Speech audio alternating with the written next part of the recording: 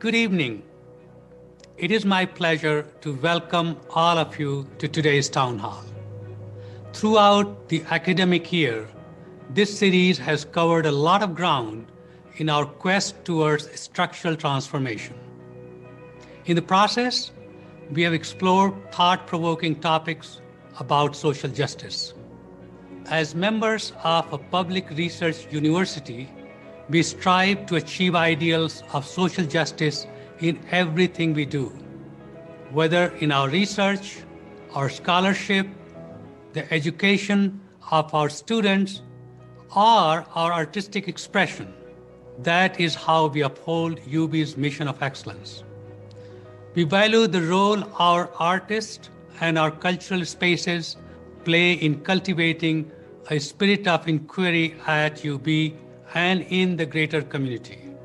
If we use our creative expressions to amplify diverse voices and perspectives, we also amplify the relevance of our work in society.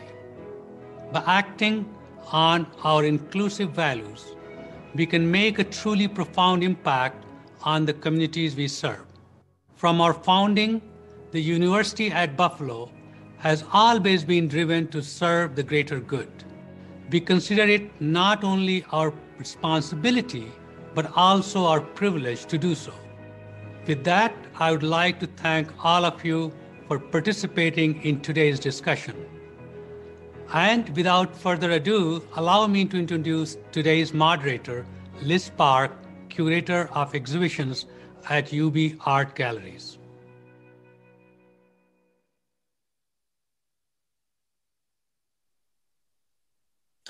Thank you, President Satish Tripathi, for the welcome, and thank you, everyone, for joining us today.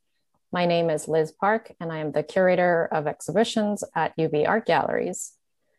I'd like to begin our program with an acknowledgement that the land that I am on and the land on which the University at Buffalo operates is the territory of the Seneca Nation, a member of the Haudenosaunee Six Nations Confederacy.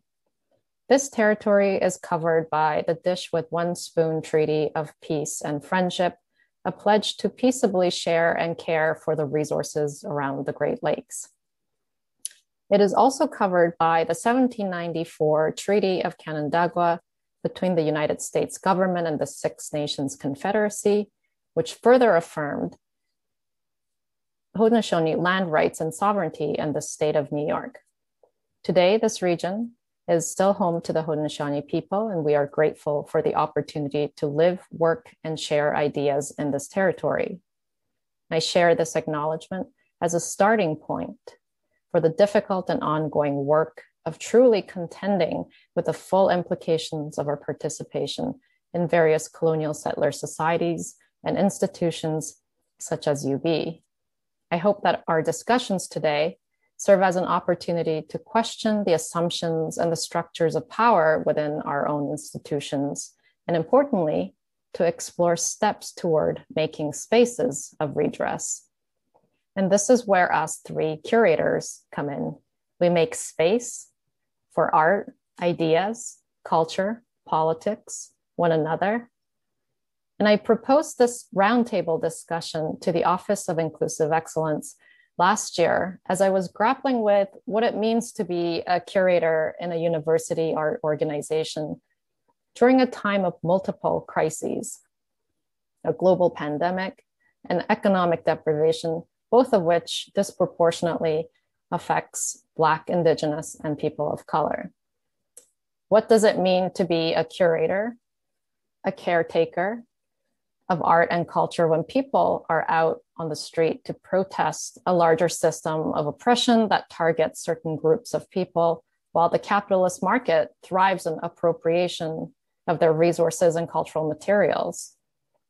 I wanted to hear from colleagues who I know are similarly reflective of their roles as curators in modeling a cultural landscape that is just and diverse with insight and acumen with the aim of forging paths forward in our field.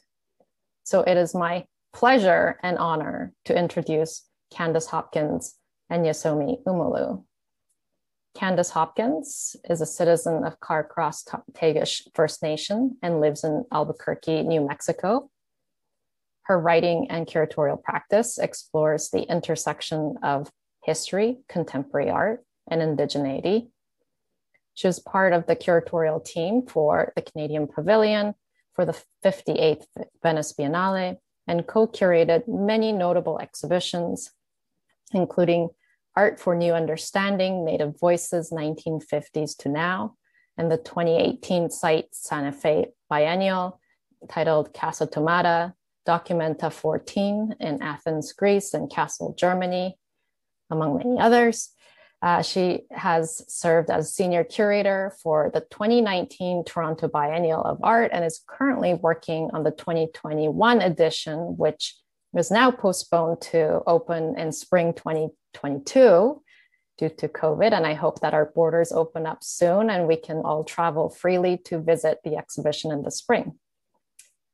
And Yesomi Umolu joins us from London, where it is past 10:30 p.m. So thank you so much for staying up late to be part of this conversation. After many years in the US, Somi finds herself back in London, where she is the recently appointed Director of Curatorial Affairs and Public Practice at the Serpentine Galleries.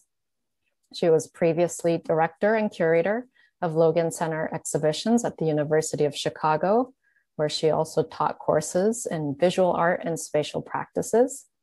Prior to joining the Logan, Somi held curatorial positions at the MSU Broad Museum in Michigan, Walker Art Center in Minneapolis, and Manifesta 8, the European Biennial of Contemporary Art. And she was most recently the artistic director of the 2019 Chicago Architecture Biennial. So, welcome, Candice and Somi. Uh, in preparation for tonight's conversation, I shared with them four broad questions which are what role do art and artists play in times of need? What responsibilities do museums have in representing cultures, past and present, and modeling the cultures we want in the future? And what are the limits of museums as sites of knowledge? What are the potentials of the museum as a place of refuge, inspiration, and life affirming power? So, as a way to start this conversation, Candice has generously prepared a short five minute introduction to her curatorial practice that'll help us understand her approach and perspectives. After which, I will introduce Somi's curatorial perspective by briefly sharing a text uh, that she has written called On the Limits of Care and Knowledge 15 Points Museums Must Understand to Dismantle Structural Injustice and then we will move into a conversation exploring these questions together, including enough time at the end for questions from the audience before wrapping up at 6.30. So with that, uh, I will turn over the virtual floor to you, Candice. Thank you, Liz. Um, and thank you for that really generous introduction. Um, I'm also so excited to speak about this. And by way of entering the discussion, I wanted to share, um, as Liz said, just a few images and put some ideas on the table. Let's say most of them are questions, and most of them are questions stemming from my thinking and writing around museums and their relationships, particularly to Indigenous people. So um, I'll share my screen and I'll, I'll just jump right in.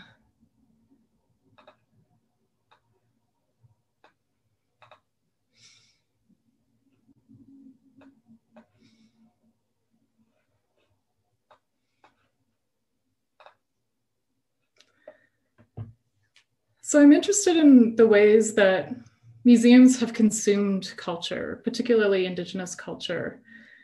In obsessively rendered drawings of the Ojibwe artist Andrea Carlson, like this one you see here, she asks questions of how dominant culture, let's say white US or Western European, came to identify others, came to identify others as exotic and as others themselves. She considers this a kind of cultural cannibalism that sensationalizes while at the same time objectifies and consumes. Even as our cultures, as Indigenous cultures, are often, there's attempts to erase us through policy and assimilation. At the center of this image is a Tower of Babel, and it rests on an upside down base of the same tower, a kind of infinite regress of the eating of the other. And then the words Mondo Cane, which references a cannibal cult film from 1962 that was a kind of shockumentary where the directors mixed both archival footage and things that they kind of reenacted. And they put, placed it on an unsuspecting public and also posed it as entirely factual. But their footage of various non Western cultures and stage scenes were, of course, entirely false. So in Andrea Carlson's painting and drawings, cultures are, are kind of continually cannibalized by one another. But it's a way of her speaking to how museums are the things that often have the largest appetites. So here we see a vessel, and it looks like a pre Columbian vessel or pre Incan vessel, but the arms of the small clay monkey grasp, grasp its neck. It's a digital replica of this vessel. It's been rubbed dark with graphite, and out of its neck comes a recorded voice. It's a seed pod, actually, with its outer shell peeled away, and that forms the vessel's body. I've been thinking lately about galleries as vessels, of museums as vessels, of entanglements as well. And I think this digital presence of this piece calls to the original as well. And the original was made by the Chimú people. And it's not an artifact. It's not an artifact spelled variously with an E or an I, but it's a cultural belonging. Museums, with their lingering primitivist ideologies and tendencies towards salvage anthropology, have tried with little success to rid these belongings of their agency, first by separating them from their people. Seeing this vessel now is a reminder that its true home is elsewhere with others, even perhaps this 3D copy, its life cycle has been interrupted by museums. It lives there in a kind of permanent stasis, the non life of the cultural object. Museums suspend death and decay while simultaneously defending their bounty from the living. This might include organisms, insects, rot, and even the human touch. So the artist Harold Mendez's gesture is a form of digital repatriation. It's not necessarily focused on the object's return as a historical corrective, however much that's needed, but on its recapitulation through the invention of new homes for it, it, of new dwellings, and of new worlds for the copies. And museums are working in this area of the copies rather well now, but differently, because they're not entirely willing to let go of their hoards. And they too are making copies. They're producing exacting prints of things like ceremonial masks by first photographing every aspect of them or scanning them, including their insides. So now, printed in 3D in plastic are eyes that were carved by hand, articulated wooden mouths, eyes at once whale and human, ermine skin, abalone shell. Even the mass imperfections are replicated. And then they're sending these ersatz ceremonial masks back to their communities so that local artists can complete them based on a mix of customary and invented protocols. They're painting them as though they're made of wood. They're adding leather ties to them. They're affixing other animal skin, hair, shell, and other items. And then they're dancing these new masks and abridged ceremonies that take place inside the museums. And the newly authenticated copy has truly come home. While returning the original masks back to the community, the museums are showing their copies in their place. And given the pandemic age, it's worth reiterating that one of the reasons museums give for not returning our things is that they've been poisoned. They've been sickened by the institution's treatment in the early days of collecting when they would douse the things entering their holdings with arsenic. This was a true performance of fearing contamination by the other, yet wanting our things nonetheless. Now our things can't come home because they are toxic. I'm beginning to think of the idea of repatriation otherwise, an idea that perhaps we've become too focused on the return of their things as this is yet another colonial trap, another way for them to say no, and that perhaps our frame of reference is too predicated on the colonial protocols of the museum instead of the protocols of the originary cultures and the protocols of the belonging itself. And perhaps the focus does not need to be always on its return, but to find other ways of being with them, being with our things, being with our wealth, of making them a part of us, of our bodies, of our communities. Because in this way, repatriation begins to lose some of its fixity, becomes more malleable and something that we can shape for our own uses and our own ends. And to conclude, I'd say that I'm also thinking of those who mobilize the potential of embodying a belonging by bringing it closer to home. One is, an, is the artist Tanya Lukin Linklater and her collaborators. And Tanya recently did this by making a link between the absent body of the gut skin parka you see pictured here that was made for someone, someone's body, in We Wear One Another, the work was realized in collaboration with the Parka, the Apache violinist Laura Ortman, and dancers, Kaiwan Gobert and Dana Rosales. Through her extended engagement, they developed new choreographies and new music and new songs. Their question was how the parka itself could be a score for engagement. So while visiting the parka at the Manitoba Museum and its now permanent home, Tanya learned as much as she could about the migration of this cultural belonging. Because when our things often come into museums, the histories that are layered onto them are often fragmented, they're filled with gaps and they're filled with silences. More often than not, more is known about the collector, and this is mainly white men, than the name of the maker and who she made this for. By simply being with this belonging, in a gesture of repatriation otherwise, is it possible to amend some of these silences and gaps in knowledge and upend its attendant hierarchies? Is this a part of the restore and the repair?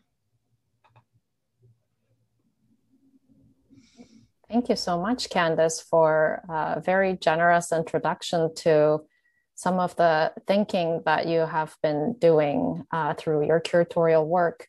Um, we will put in the chat box for all the audience uh, a link to an essay that Candice has written called Outlawed Social Life in case anyone is interested in exploring more.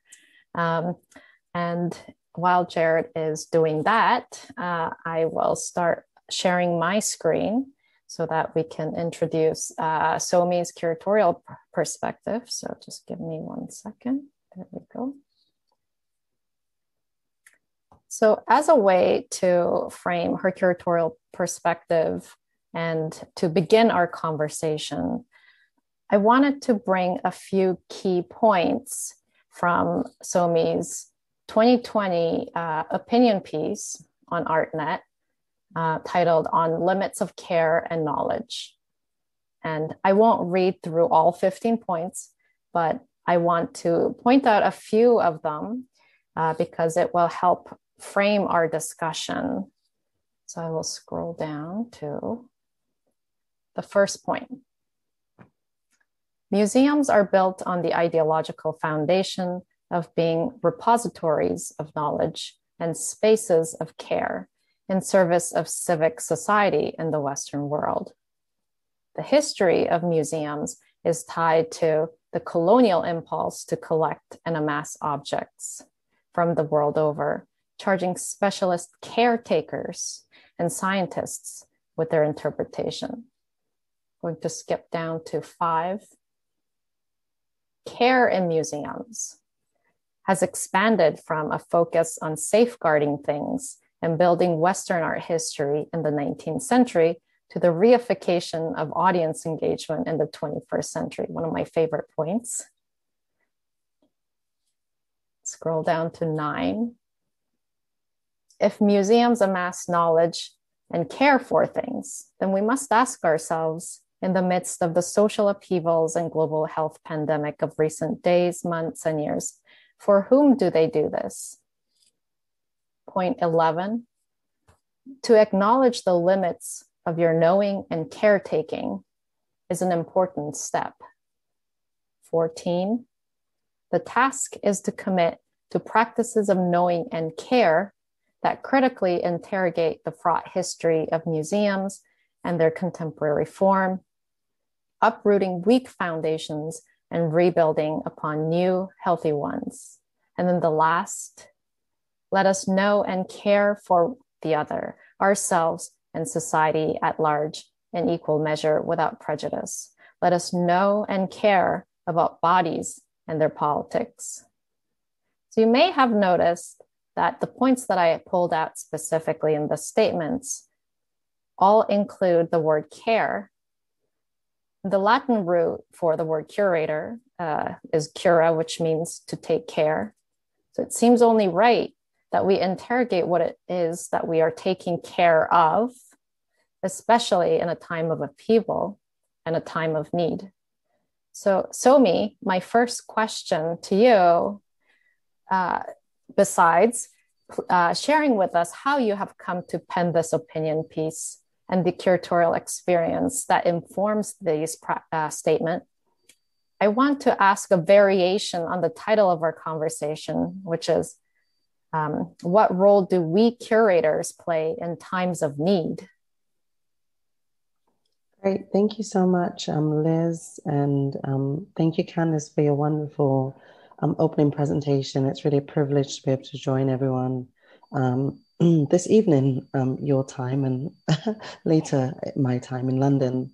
I think that in, in terms of thinking about my text and you know how it connects to a curatorial practice or a curatorial viewpoint, um, I would have to say that this text um, actually maybe surprised me in terms of how I position myself um, in relation to museums and museum museum practice, as we were all sort of experiencing um, the social upheavals of 2020, not only the pandemic, but the kind of really significant trauma of um, George Floyd's murder and the sort of ramifications that that had um, on all factors and all layers of our society. And I think that it was a moment for me, at least, um, to take a stand um, in a way that maybe um, was attempting to think about how I could um, affect change within um, my profession and maybe taking some inspiration from the protests and the sort of outcry and the mobilizations that we all, all witnessed to um, over the summer of 2020.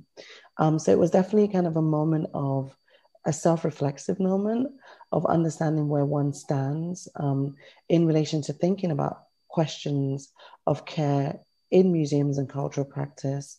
Um, but I think, really, essentially, what are the values of the work that we do? Um, and how we as individual curators work in, in larger institutions, but also as a sort of um, generation of curatorial scholars, how we can, um, I guess, dictate um, the parameters of care um, for the future. Um, because I think that we depend a lot on a sort of prior way of working, um, values that have been kind of handed down through the institution. And as we know that those values and those method- methodologies and ways of working are sort of tainted by the histories of colonialism and histories of violence um, that really birthed the museum as a sort of model. Um, so um, it was an attempt to kind of articulate oneself, I, I think, in the complexity um, of the moment. Um, it was interesting to hear um, Candice speak about um, toxic bodies and toxic objects and the question of the other and how um, museums have a sort of long term struggle with this idea of toxicity um, and purity um, and not wanting to, um, I guess, maybe taint um, the purity of a museological practice or the purity of a sort of like knowledge center with the other, right? But the other always finds a way to kind of intervene, to kind of make itself present, um, whether or not it's through these objects and their sort of afterlives and the need to kind of tend to them in a different way, or through the presence of other bodies who are always, I think, um, pushing at the edges of what museums think they should be offering to an audience, to a visitor. And I think always, um, you know, calling museums to task on their key responsibilities vis a vis a sort of like civic um, contribution. And I think that's what we saw over the summer um, was that with the sort of closure of museums um, and um, the pandemic, uh, our relationship to museums changed fundamentally.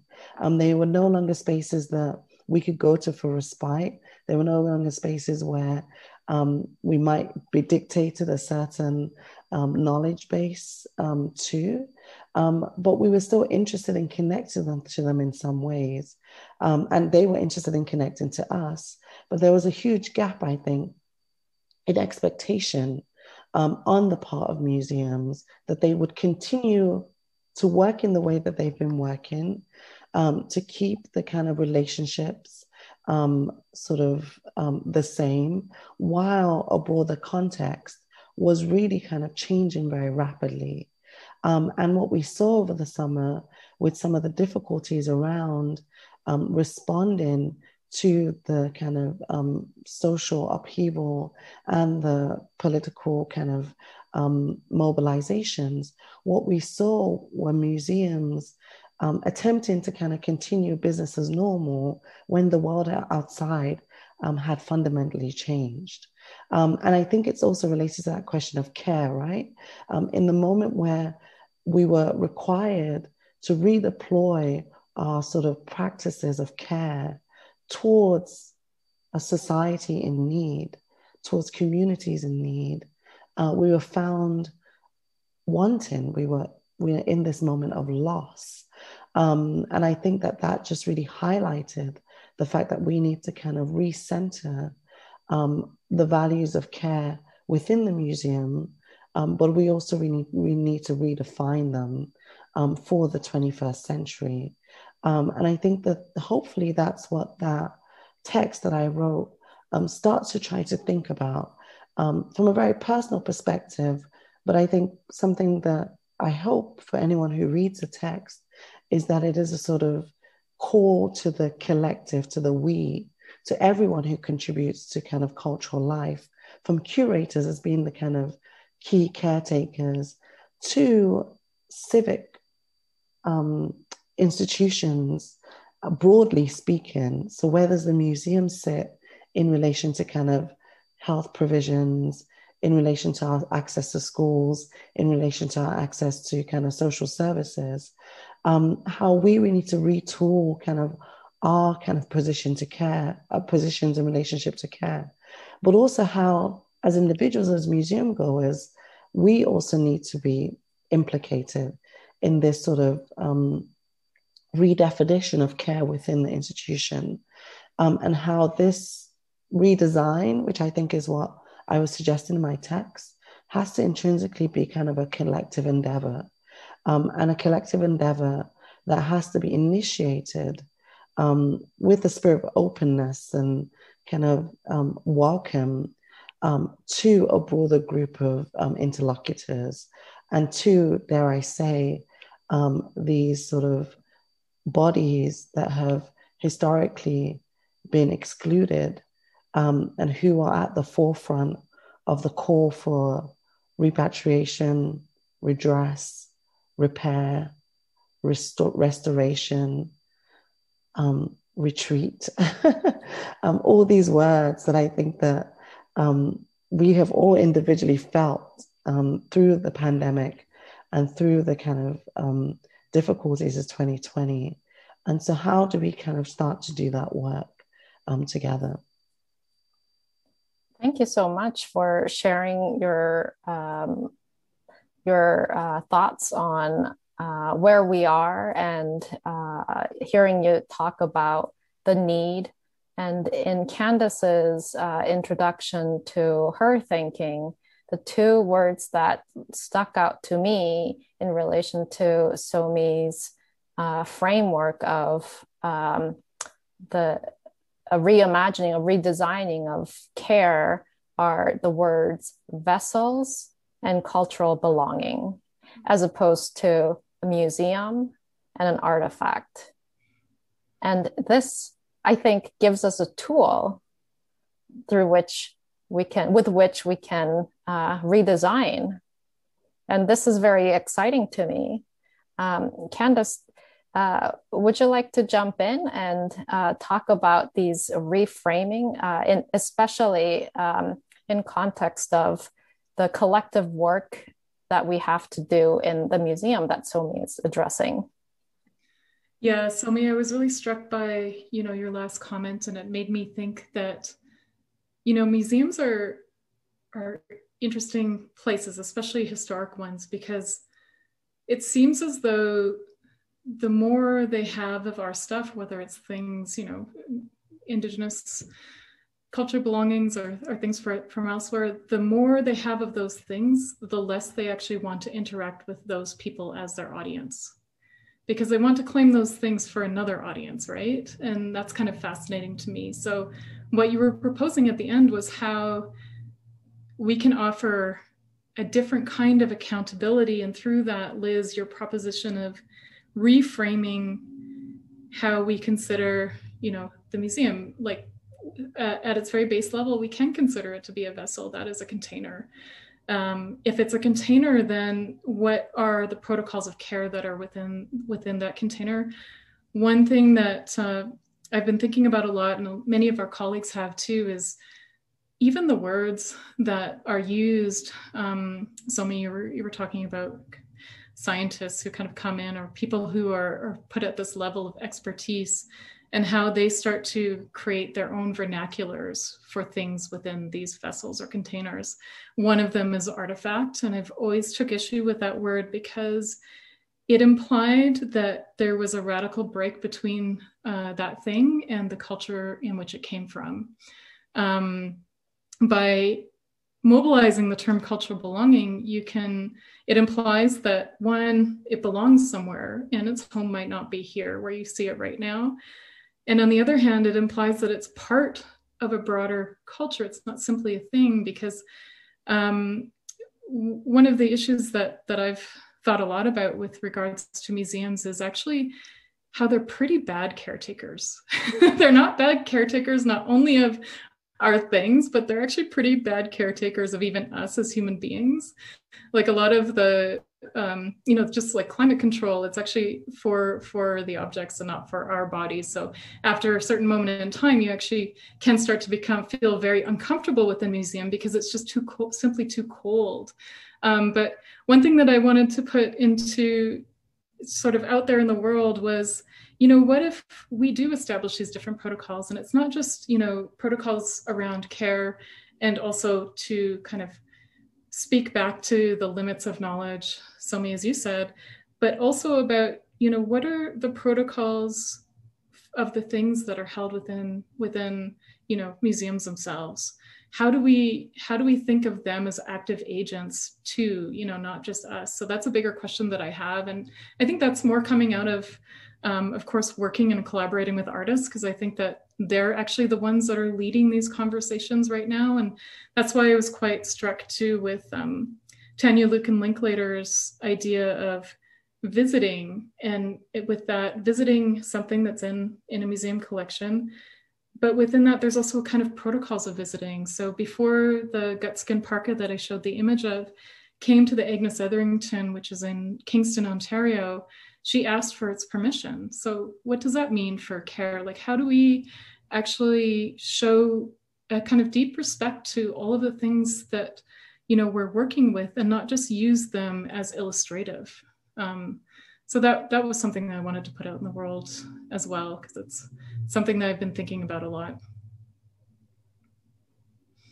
Yeah, Liz, I love your um, kind of remapping of um, the the ideas of the vessel and cultural belonging, and I think the um, the idea of the vessel it doesn't have to be a closed vessel, right? And I think what's beautiful, the kind of um, this idea that a vessel can hold multiple things, um, but things can spill over from it as well, right? It's not mm-hmm. contained, it's not finite, it can be refilled, it can be emptied, you know, and that sort of constant replenishing that we might think about in relation to a container. Um, I think that that's a question also like, how do we replenish um, and maybe re nourish um, institutions and the work that they're doing, but also the objects that they're working with. And maybe this idea of um, how artists might intersect with some of these objects to kind of um, not uh, not give them agency because the objects already have agency, but maybe to kind of amplify the sort of like existing agency to make more visible, um, to situate that agency in the present. Um, maybe that's something to do with kind of replenishing the work of the museum, as opposed to I think what previously is about kind of again holding things in stasis, right? Uh, carrying floor in a way where this object will remain pristine, quote unquote, untouched, quote unquote, um, and interpreted within a finite framework uh, with a view to kind of educating um, a mass.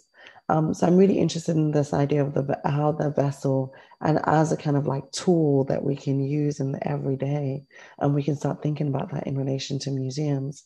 Now, the question of cultural belonging, I think, is one that we strive to think about how museums can be meaningful to people um, beyond just the fact that they hold artworks that you can have exceptional experiences around. I think all museum professionals would say that they strive for there to be a sense of belonging in museums as they connect to their audiences and their communities.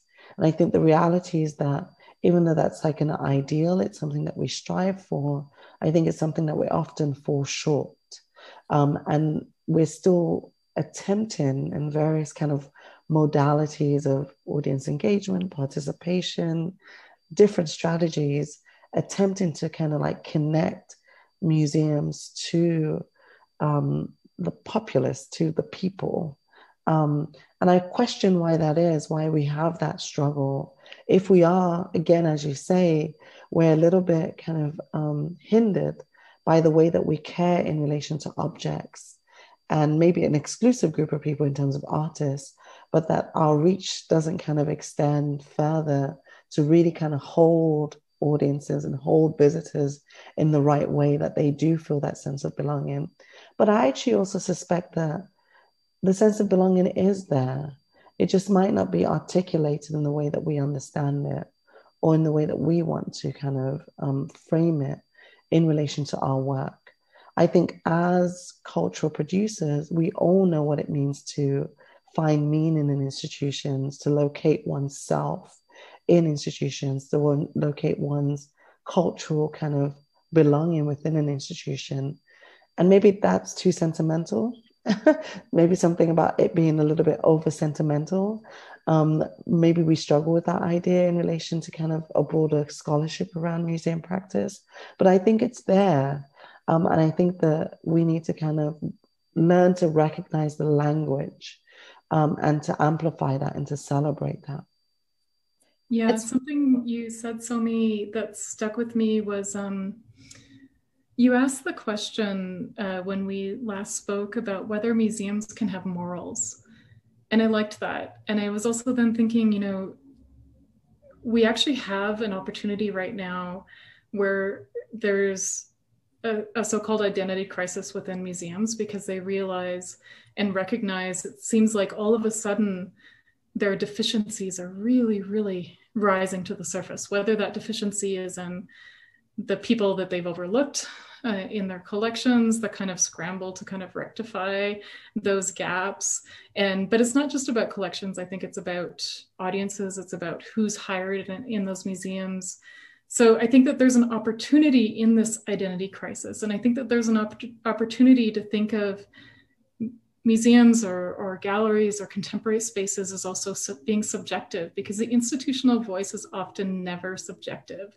And that's where I think maybe that sense of belonging kind of gets, or, or even the idea of care uh, starts to get a little bit confused. I want to fold in a few questions that have been coming in um, because uh, I knew that this hour was going to fly, but um, I think these questions are also pertinent to the discussion that we were just having in terms of uh, the museum uh, and it's um, I, the idea of it being a universal institution for a general audience. Uh, so I will ask a couple of questions in a combined way. Uh, one is, could the curator say a little about how different museums are implicated in the politics of curatorial care for communities they serve, for example? How might a museum like the Met, the Metropolitan Museum in New York, practice care versus a university art gallery like us or a local art museum. Uh, and also, um, how um, uh, could you say something a little more about the about how audiences can participate or extend a curatorial practice of care, and how would you like to engage with your audiences?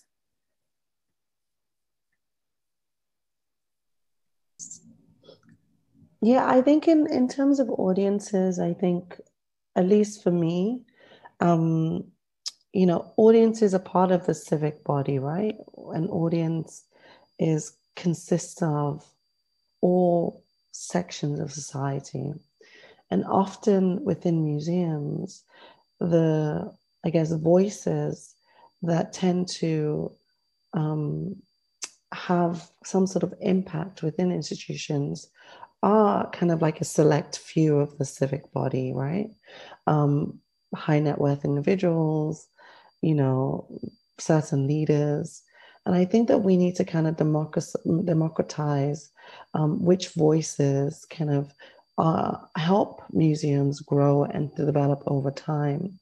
I'm always really curious of the fact that I think that at a certain point, at least in the US, um, there was a sort of complete erasure of community departments, community focused departments within museums.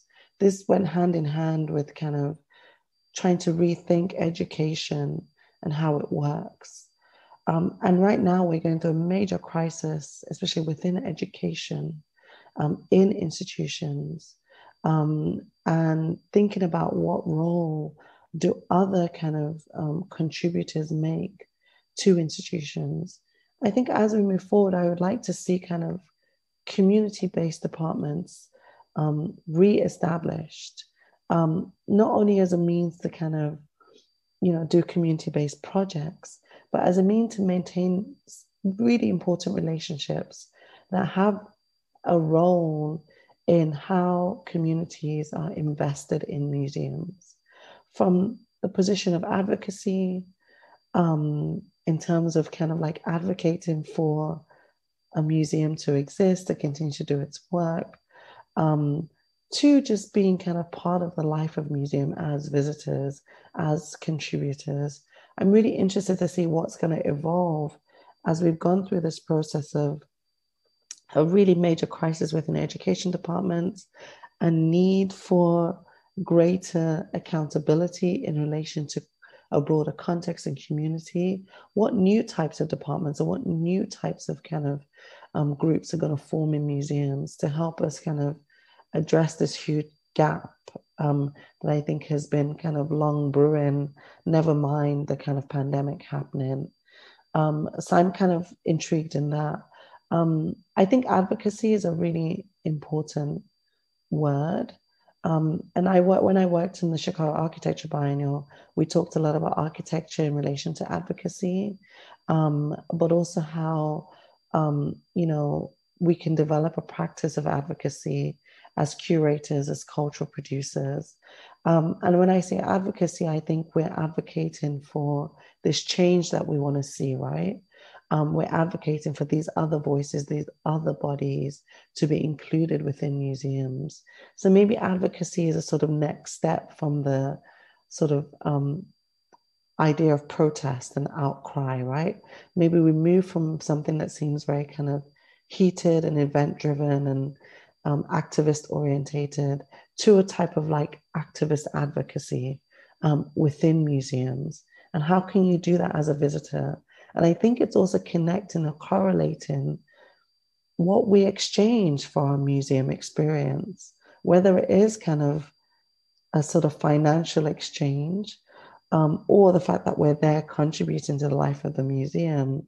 and holding museums accountable for the fact that they have to deliver. Because if you are going to contribute in a certain way, we have to have certain expectations that are met. So, how can we advocate for new expectations and new values within institutions as audience as audiences? What you're addressing is so important. Our responsibility as not only cultural producers, but responsible audience members.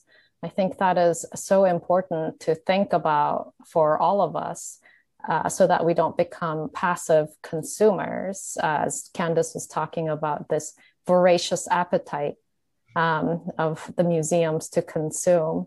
Uh, mm-hmm. I want to throw in one more question from the audience uh, and maybe ask Candice to um, think about these different types of museums and different communities they serve. This question uh, comes from an attendee who says, I think a lot about the identity of museums and wonder how we can reconceptualize them. What are your thoughts on particular measures? How or even whether, how even or whether this historically rooted institution can reinvent itself? Isn't its institutional setup and foundational history preventing its reinvention? In other words, can the museum be reinvented from within? Yeah. so I think um, both from within and outside, and both through the ability to make you know new spaces. I I was thinking as Somi was talking about a potential model for the museum might also be as a kind of community repository. If you think of a museum that way, then you also have feel maybe some ownership or agency of the things that's contained within within them. And one model that already exists is the Museum of Anthropology at the University of British Columbia. And uh, for family members who have things in that collection, there is there are ways that they can be borrowed back if there's if they're needed for for ceremony or, for example, um, many of the things that they have actually, of course, have very particular protocols of care, particularly mass. Some mass, for example, need to be fed. They need to be part of you know dances at certain times of the year, and the museum is now realizing that the social life of objects needs to also be a kind of predicating on how people um, relate to that space. So that that was an idea that I had as a kind of repository. Um, someone once said not that long ago in a kind of thread I was having about museums online that that they can't be augmented or or they can't be augmented successfully but i disagree because they augment themselves all the time depending on their interests um, and the other thing that I wanted to say about uh, about community and relations, one, obviously, we can actually hold these spaces accountable. We our interests can actually shape what is shown, how it's shown, who it's shown to. Um, but one thing I wanted to say is that it seems like the larger the institution, the more they lose focus of who their audience is. Um, and the larger, the the more they lose focus of who that community might be. So, one thing we've been thinking about lately, even with the Toronto Biennial, is what are the neighborhoods wh- where we're in? Like it, maybe there's a neighborhood model rather than uh, a community model because community is so um, it's always already so multiple. Um, maybe if we start simply with with place, because I think the larger the institution too, there's a confusion between audience and patronage, Somi, as you already said. So it seems like then there's a kind of uh, emphasis placed on patrons instead of the people coming because they don't know who the people are coming. They don't necessarily know intimately the people who are coming. And Liz, you had mentioned the Met earlier, and I went to the Met to see the Diker exhibition because it had a lot of Tlingit work. And I must say that I was I was really angry at the labels. And it was clear to me that they had done very little to no community consultation of Tlingit people because they were still using words like witchcraft and sorcery. It was profound to me. And what I realized later was that it's because this was the language that attended the things when it entered their private collection. And then that language was still attended to when it entered the public collection. And so I think we need museums need to think of communities also as repositories of knowledge, not just as audiences. that's a great and really powerful point. Um, I am thinking about the limits of museum as sites of knowledge um, and how do we offer um, the kinds of knowledge that we have as museum professionals as a mere starting point for mutual exploration and knowledge building rather than presenting information as conclusive statements that have a period at the end.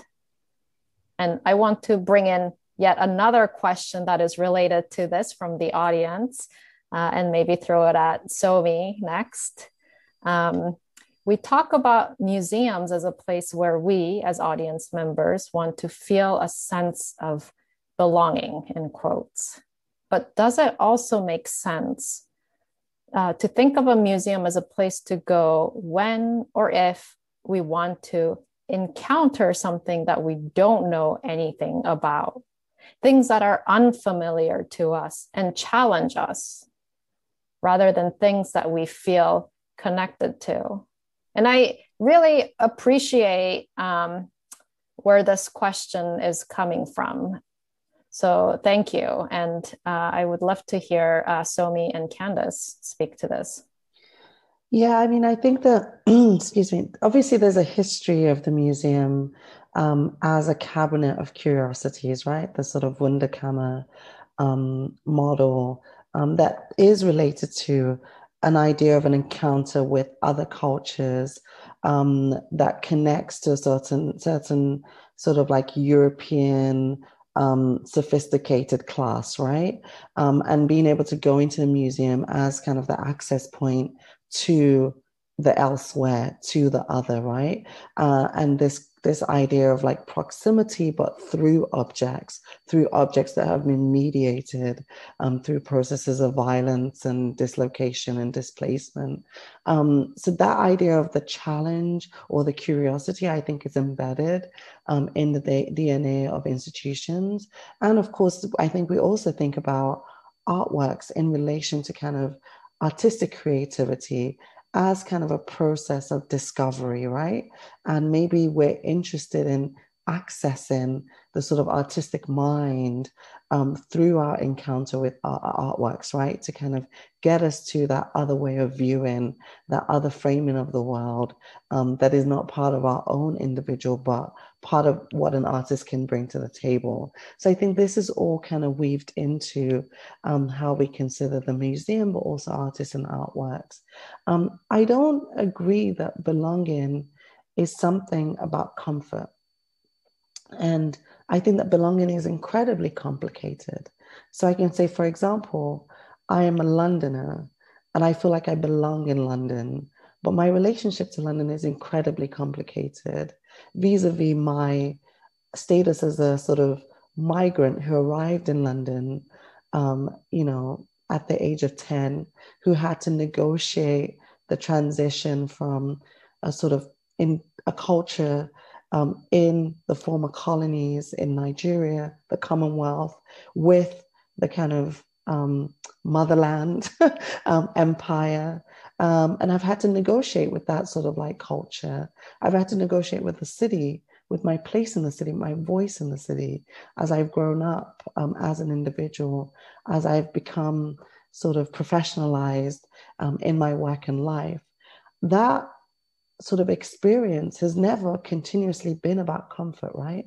There are moments of discomfort. There are moments of challenging oneself, of um, questioning one's place in the world, questioning whether or not I do belong or I don't belong, whether or not I need to leave in order to understand that I do need to be back here again.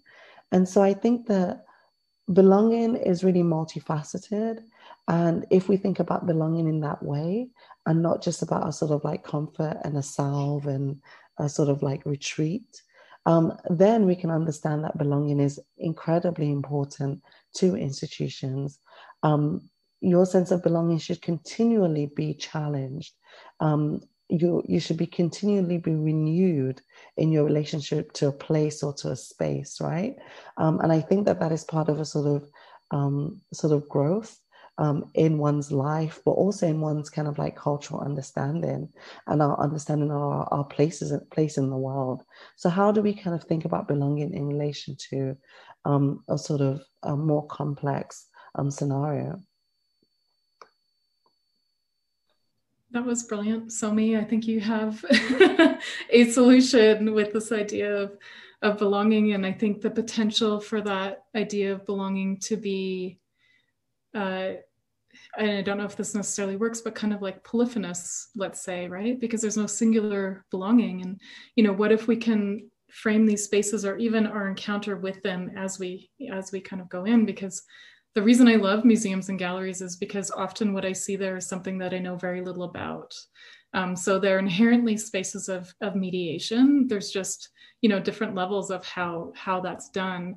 Um, I also think that I always appreciate it when an artist's voice is privileged over an institution's voice, um, because I think that, you know, I, I, I learned from I learned from that, and I and I'm I always kind of balk a little bit when um, this kind of authorial voice comes in because I question it immediately. I question, you know, where where the knowledge came from because they never talk about where that knowledge comes from when they say this artist is important because of this and their, you know, their work came up during this moment and and I shouldn't say that because I'm a curator, but it's I trust curators, but I think I, I don't trust the institution as well as the curators.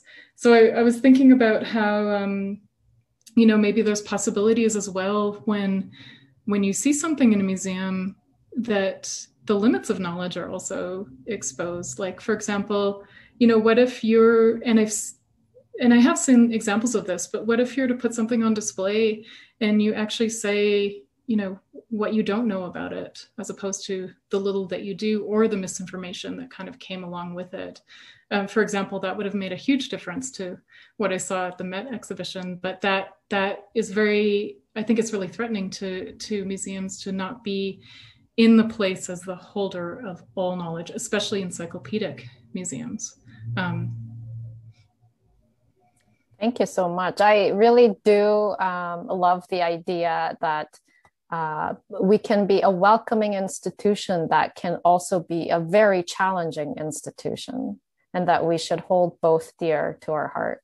Um, our time is almost up. Um, I want to uh, bring in one last question from the audience as a way to wrap up, and maybe we can take turns quickly addressing some of the basic uh, steps um, that we can take in response to the question, which is many museums are not grappling with these issues what are the ways that museum professionals can be leaders, advocates within structures that aren't always open to this work?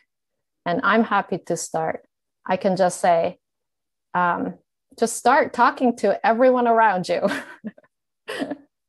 I'll pass it on to Somi. I agree. I think we should speak, and we should maybe not speak from a um, presumed position um, of kind of scholarly excellence, of authority, um, we should speak with uh, the wholeness of ourselves, right? Um, and I think that the more that we feel courageous to do that, um, the more things will start to shift and the conversations will become much more richer. Um, and I think also we desperately need, and this is a call to you, Candice, um, we need to go back into institutions um, and we need to fight with them from, in, from inside. Um, I, I think that there, there are a lot of wonderful voices and wonderful scholars that have struggled to kind of exist within institutions um, because they are inherently very difficult places to affect change. And um, practices have been developed, very rich practices have been developed at the sort of like outskirts of institutions. I think we have a wonderful opening now to sort of go in and to try and do the work from inside. Um, I think that's also something that I would encourage um, other colleagues and peers to do to be fearless in kind of entering institutions um, because it feels like this is the best time if there is no other um, that might kind of materialize in the future. Yeah, I think we can still raise our voices even from within side. And I've been hearing, you know, during this time uh, from many, many colleagues within education departments and within curatorial departments of the change changes that they're making, and they're quite profound. They might be quiet uh, at the beginning, um, but I feel, you know, this is the first time in a long time that I felt really optimistic about you know these changes that are happening. But they're happening as well because people from the inside can leverage critiques from the outside. So i think the two sometimes need to go hand in hand. Um, and i also think that museums or at least those of us who work within them or you know work to critique them from outside are also learning a lot from things like transformative justice and of course uh, equity. Um, all of these conversations are coming to bear on you know not just museums as as you know repositories of things but museums as human ecosystems that we've created in our own images Thank you so much for both of your answers and for this hour together. And I know we have not gotten to all of the questions, even though Candice and Somi are guests in Buffalo virtually today. I am around and I am happy to continue this conversation with all of you. On that note, I want to share that UB Art Galleries is open uh, for in person by appointment visits. So do drop in and sign up for our newsletter so you can find out about all the great work that we are doing. And I really hope that this is just the beginning of many conversations that we will all have in different threads that can be collectively woven to something stronger. So thank you. Thank you, Liz. Thanks, Liz. Take care. Bye. Bye. Have a good evening. Bye.